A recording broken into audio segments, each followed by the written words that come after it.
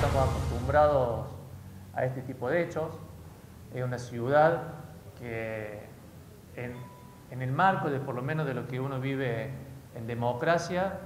ha, sido siempre una, una, ciudad solidaria que acompaña a los vecinos.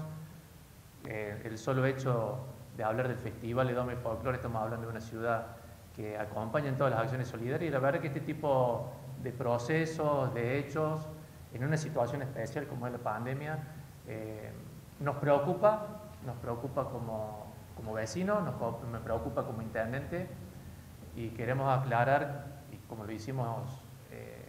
en el comunicado de esta madrugada, que la municipalidad no tuvo nada que ver con el procedimiento que fue realizado por la Policía Fiscal, que fue un procedimiento en el marco de la violación del aislamiento preventivo obligatorio y que nosotros, como venimos haciendo desde el primer día que nos hemos hecho cargo de la municipalidad, hemos agotado y seguiremos agotando todos los canales de diálogo que tenemos hoy con el sindicato municipal.